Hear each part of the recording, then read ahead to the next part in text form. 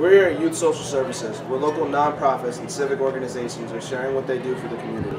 Here at Youth and Social Services, we work with the other nonprofits in town. We can't do our job without them. We work closely with uh, Amanda Moreno, who's the director up here at YSS, so it's important to support them, but it's also important to support our community partners. We also collaborated with Youth and Social Services to do babysitting CPR classes, so that is always open to the youth and the community as well. We've collaborated with the Meriden Wallingford uh, uh, United Way, also the uh, Wallingford YMCA on programming, uh, Spanish Community of Wallingford Scout as well. It takes a village working with other agencies because so it might be something that we can do here to help families, but at the same time, we may not have that skill or that, that type of program that might better benefit someone else. So we have to work together.